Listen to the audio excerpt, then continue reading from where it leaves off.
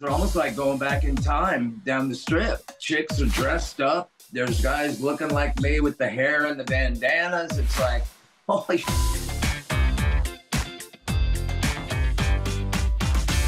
Hey everyone, I'm Katie Daryl, and I am not the first, nor will I be the last to say it, but I gotta.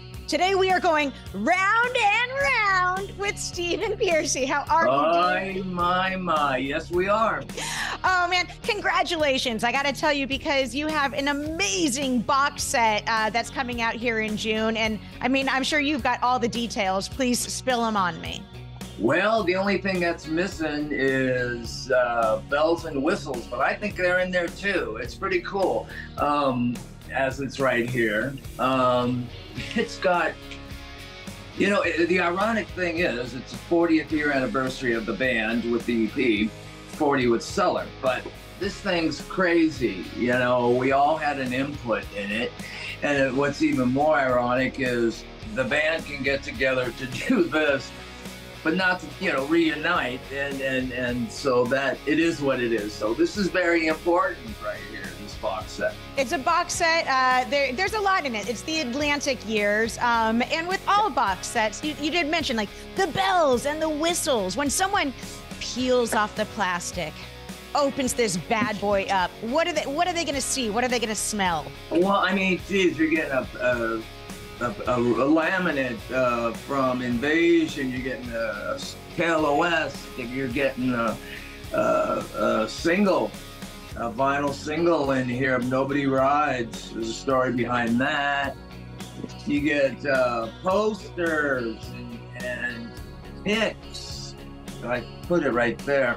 I gotta tell you, my oh. one pet peeve with box sets, all right? And I'm sure even the artists have the same pet peeve. Yeah. Box sets are great, it's a box.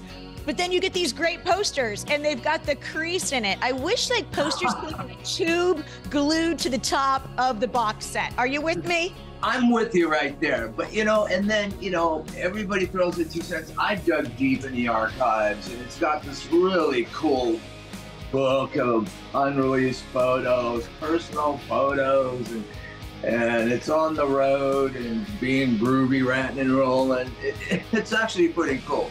We've never really had a box set, so it's a great representation of the five guys, the five albums, and the 1980s Sunset Strip experiences right there. Does it feel like 40 years to you? Oh, good one. Yes, sometimes it does. And then sometimes it doesn't. I mean, my meet and greets that I have at my solo shows are almost like going back in time down the strip. Chicks are dressed up. There's guys looking like me with the hair and the bandanas. It's like, holy shit. It's a good thing. It's a flashback, you know? Well, you you mentioned the Sunset Strip, so you were very fundamental in the formation of what we now know as the Sunset Strip. Mm-hmm. It was you, it was Van Halen, it was Motley Crue, it was before Guns N' Roses. I mean, you guys were there putting your stink everywhere. Um, well, tell me about the formation um, and the friendships that were formed on that strip.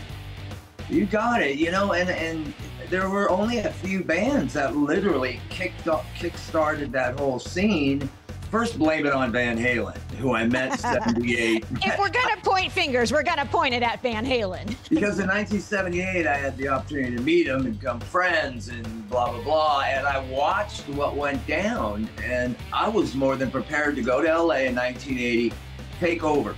And Robbin and I, along with Nikki and Tommy and Vince, we had a street gang called the Gladiators. There were only a handful of bands. And believe it or not, it was Roxx Regime, who is now Stryper. It was Dante Fox, who is now Great White. It was Wasp, Quiet Riot, Motley, Ratt. There was only a handful of us that really kick-started some things. And some other bands that should have made it, but kind of, you know, who knows? I don't know but maybe not the flyers on the pole. I don't know. There's uh, the Sunset Strip uh, experience, as you call it, which yeah. is perfect, perfect word. Um, what what was the experience? Tell me about the the walking down the street, the multiple clubs, the parking lots, the bathrooms. What is I, the experience? Well, I mean, look, uh, whoever said decade of decadence they had it spot on. You know, everything was new, exciting, dangerous, colorful, fast. I don't think anybody slept. Uh, you know, at any given time, we would be on the lawns, you know, and behind the clubs with guys in uh, Stryper, you know, partying, you know, doing what you gotta do on the Sunset Strip. I mean, you know, the place was nuts. The only thing I can relate it to in the 80s is the Doors movie, right? Everybody's in front of the Whisky. Well, that's how it was then. 24 7 back in the day, early 80s. Yeah, it was just like that. It was nuts. It was a, a new adventure every day, you know? Well, the, the main point of our conversation today, because I don't want to get too off track, is this box set, which is so iconic. It's the the Ratt box set, the Atlantic years, celebrating 40 years. There's a lot of good stuff in there. And uh, uh, of course, you're going to get the hits. You're going to get the Ratt songs that you want to hear. Um, and has it been fun and an interesting roller coaster to see how um, the media and pop culture have chosen to use Ratt songs over the years. I mean, let's just start with that Geico commercial, right? I mean, yeah, right. Boom! That was a that was probably a nice paycheck.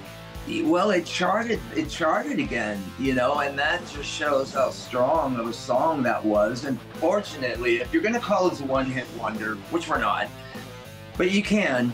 I'll take it with round and round. What are you nuts? I mean, you know, Geico, Zamboni, Cobra Kai, uh, Point Break. Uh, uh, Weird Science. You guys have the song, a song in Weird, Weird Science. Weird Science. There you go. Weird Science. Science. The Wrestler. Uh, uh, what's the other one? Uh, Eddie Murphy, uh, Golden Child. I mean, Pretty Woman. Hello.